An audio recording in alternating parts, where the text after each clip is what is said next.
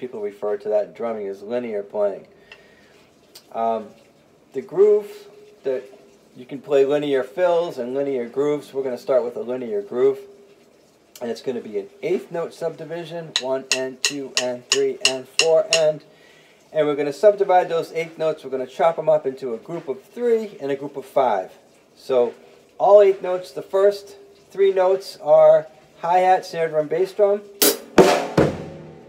And then the five notes are going to be hi-hat, snare drum, hi-hat, bass drum, bass drum. So hi-hat, snare drum, hi-hat, bass drum, bass drum.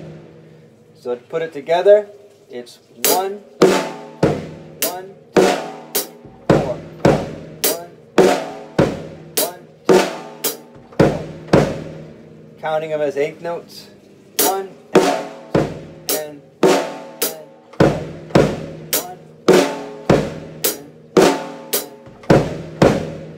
There's a lot we can do with this. Once you play it a bunch of times, you'll hear it as a mel for the melody that it is.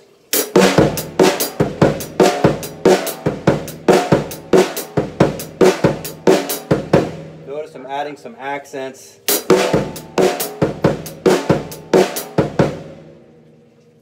I would uh, have you, I would invite you to practice accenting as much as you can, all the different beats. Um, with that, accent the one.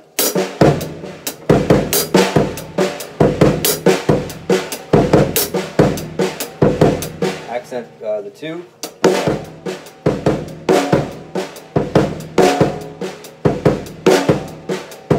Etc. Etc. Work on different speed.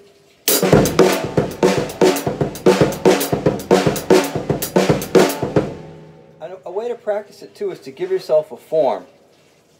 Um, so I'm going to practice it once once you're comfortable with it. Practice it eight times with this orchestration, and then practice it eight eight times with substituting in the cross stick for where the snare drum was. So.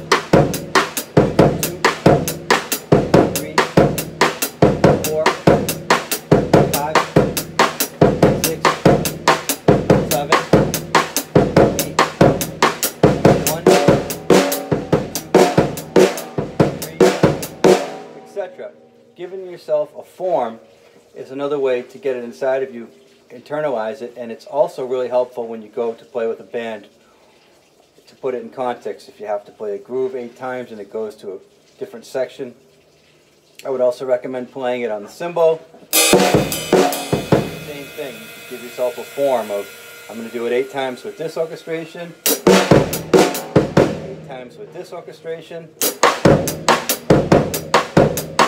eight times with this orchestration. So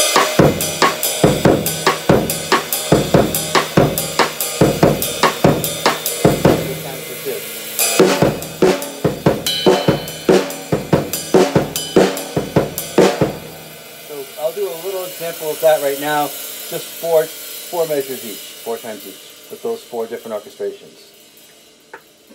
One,